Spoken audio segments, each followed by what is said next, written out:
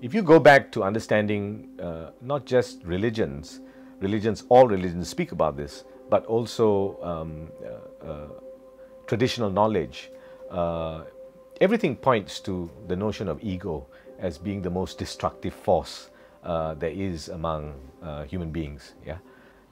And I see a lot of what has happened, you know, in terms of the way we progress, um, as being an expression of unbridled ego, right?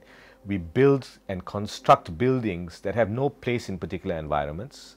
We live in very uncomfortable surroundings, actually, and so we impose further, uh, you know, environmentally destructive things like air conditioning. Uh, we pretend we live in winter, uh, rather than create all the necessary space that we have for you know, natural flow of air. Uh, any architect will be able to tell you that they built houses a lot better 40 years ago.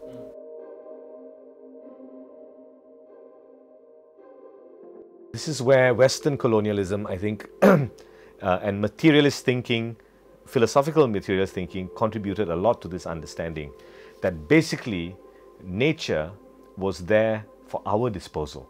Hmm? Uh, and of course, that went unchecked for decades and uh, you know close to a century now, uh, and we've been unable to rein that back. Uh, we have given ourselves a sense of importance beyond everything else, uh, when the reality is that the human being is the most dispensable thing on earth.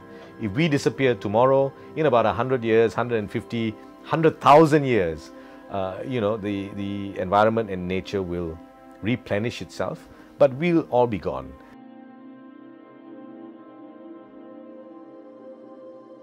My bigger and bigger quarrel is with this notion of civilization.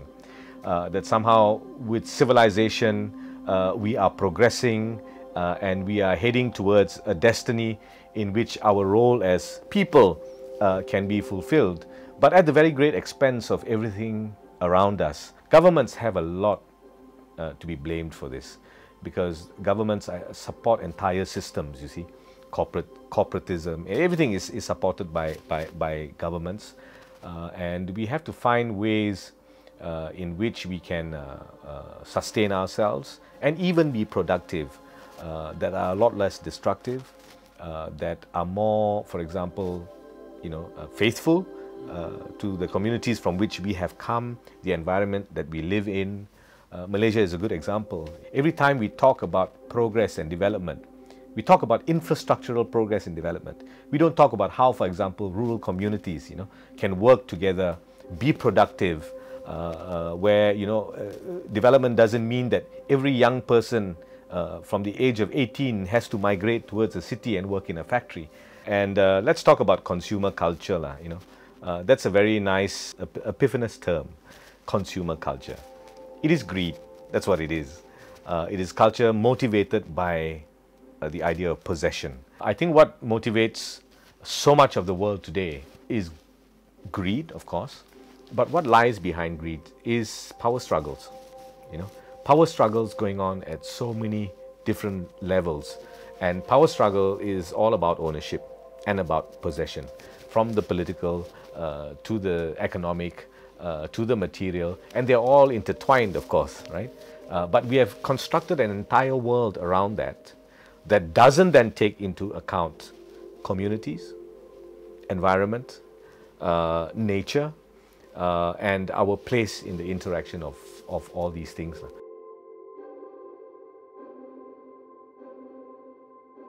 Thing about living simply is about how unsimple it actually is.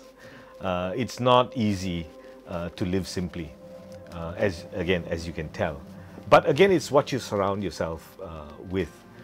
Uh, live simply uh, so that others um, may simply live.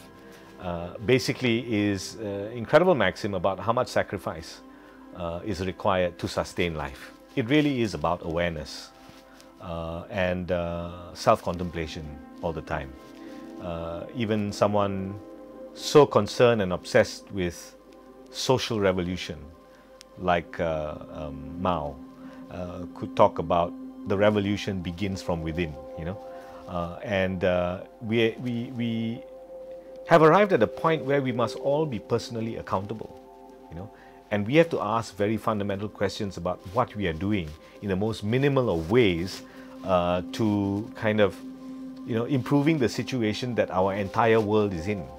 Uh, you know, so the moment you can begin to be very aware of who you are and what your journey is in this world, uh, then things around you become uh, a lot more uh, livable. There's also a wonderful Zen saying: "This is no snowflake ever falls in an inappropriate place." You know, and I think we need to understand uh, our place in the world in that kind of way. You are here for a particular time, for a particular reason, and you need to make sense of what that reason is.